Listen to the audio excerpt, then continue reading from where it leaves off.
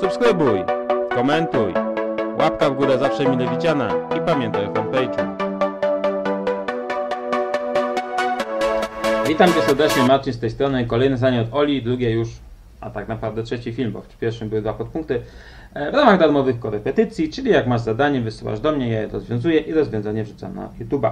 Mamy wyznaczyć ekstrema i przedziały monotoniczności funkcji x minus 4 przez x kwadrat.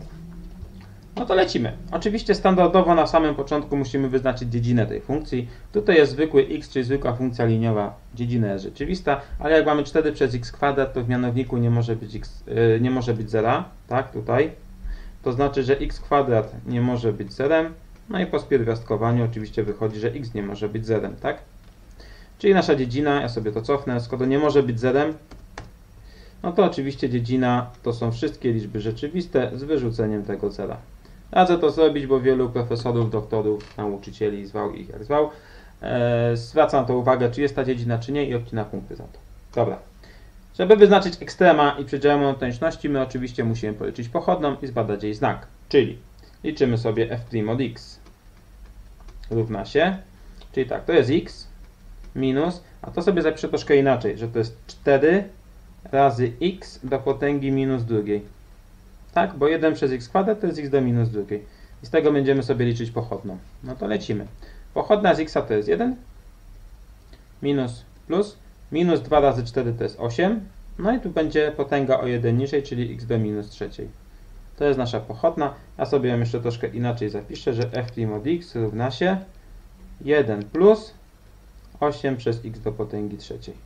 Ok? Tak, bo x do minus trzeciej to jest 1 przez x do trzeciej. Dobra, mamy policzoną naszą pochodną. Yy... Dobra, nic, zamyśliłem się, sorry. x yy, to też skasujemy, bo już nam nie będzie potrzebne. Mamy naszą pochodną. A, tu ją rzucimy. A. Teraz musimy sprawdzić, kiedy nasza pochodna się zeruje. No to go. f' od x równa się 0. Wtedy i tylko wtedy, jak oczywiście to równa się 0, czyli 1 plus 8 przez x do potęgi trzeciej równa się 0. Oczywiście możemy się pozbyć ułamków mnożąc przez x do trzeciej, zwłaszcza, że x nie jest zerem, czyli wyjdzie x do trzeciej plus 8 równa się 0. Czyli, czyli mam tak, odejmiemy sobie ósemeczkę, czyli x do potęgi trzeciej równa się minus 8. Czyli spierwiastkujemy sobie to pierwiastkiem trzeciego stopnia, czyli x równa się minus 2. I teraz tak, x równa minus 2 to jest punkt podejrzany o nasze ekstremum, tak? Ja sobie tu napiszę, o, najlepiej tak, x.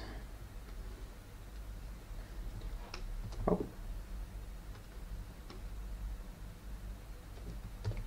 Ok. Ok, no i teraz jeszcze musimy sprawdzić, kiedy ta pochodna i czy ta pochodna zmienia znak, bo to jest oczywiście punkt podejrzany o ekstremum, ale niekoniecznie, że w nim jest, bo warunek konieczny jest taki, że pochodna musi się zerować, a wystarczający jest taki, że jeszcze musi tam zmieniać znak, tak?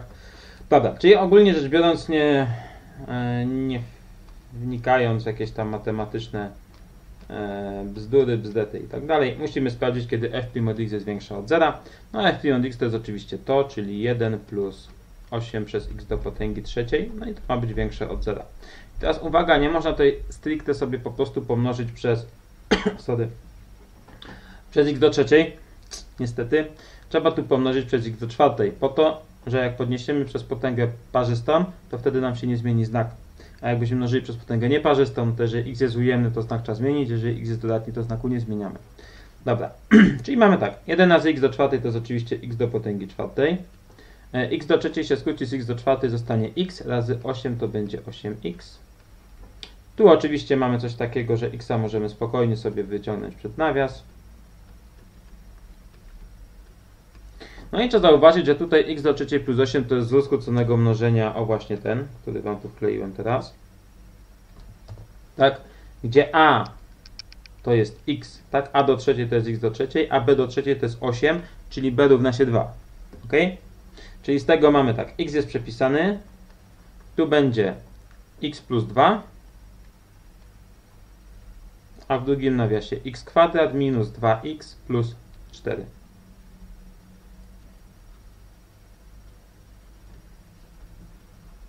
I teraz tak, zawsze w tym wzorze skróconego mnożenia, jak będziecie liczyć deltę z tego, to ta delta będzie ujemna. Czyli mówiąc inaczej, skoro ramiona są w górę, delta ujemna, to zobaczcie, że ta funkcja kwadratowa, która jest tu, ona przyjmuje cały czas wartości dodatnie. Czyli wynika z tego, że ja sobie spokojnie mogę to podzielić przez x kwadrat minus 2x plus 4. Ok? Czyli otrzymuję x, x plus 2 ma być większe od 0. Tak? To jest oczywiście funkcja kwadratowa w postaci iloczynowej, więc ją możemy sobie tutaj narysować. Pierwszym miejscem zerowym jest, no zeruje się dla zera, tak? Czyli dla tego punktu. Drugim miejscem zerowym jest x plus 2, tak? Czyli zeruje się dla minus dwójki. Tu by wyszło x kwadrat plus 2x, jest x kwadrat, czyli ramiona są w górę tej naszej paraboli. No i oczywiście tutaj ramiona są pod osią, czyli tu są wartości ujemne. Natomiast tu są ramiona nad osią, czyli tu piszemy plus i tu są ramiona nad osią, czyli tu piszemy plus. I teraz możemy napisać po prostu już komentarz.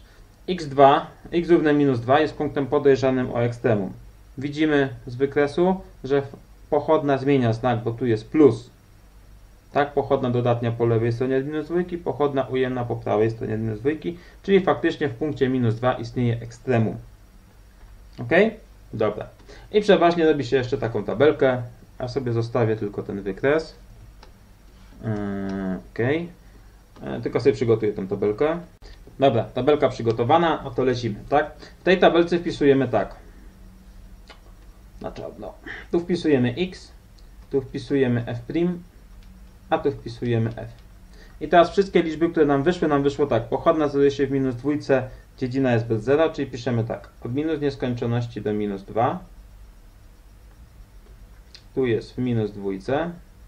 Tu jest od minus 2 do zera. Tu jest w zerze, a tu jest od zera do plus nieskończoności. Tak? No i teraz co się dzieje? Najpierw dziedzinka. Ponieważ są rzeczywiste bez zera, to tutaj w ogóle funkcja nie istnieje. Co bardzo ważne. Pochodna. Dwójeczce się zerowała. Od minus nieskończoności do minus 2 była dodatnia. Dodatnia. I tu była dodatnia, tak? Od 0 do nieskończoności. A w przedziale od minus 2 do 0 była ujemna. Czyli tu funkcja sobie maleje. Skoro pochodna jest dodatnia, to funkcja sobie rośnie i tu sobie znowu będzie rosła. Tak. Ok? Czyli co tu będzie? Max. Maksimum. Żeby je policzyć, oczywiście trzeba postawić minus dwójkę tutaj. Czyli policzyć f od minus 2 równa się. Za x wstawiamy minus 2, minus 4 przez minus 2 do kwadratu to też jest 4. 4 przez 4 to jest 1, więc mamy minus 2 minus 1 jest minus 3. Czyli ekstremum istnieje w punkcie x równa się 2 i ma wartość minus 3. A przedziały łączności, no to widać, od minus skończoności do minus 2 rośnie, od minus 2 do 0 maleje, a od 0 do nieskończoności ta funkcja sobie znowu rośnie. I tyle. Pytania w komentarzach, łapki w górę mile widziane. Ja zmykam do kolejnych zadań. Cześć.